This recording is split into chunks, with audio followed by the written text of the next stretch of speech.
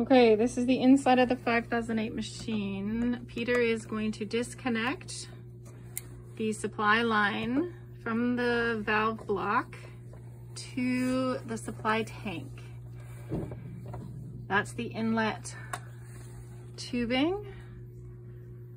We're going to connect a gauge and a syringe to create a vacuum. And you can see he pulls on the syringe. Here we go. One, two, three.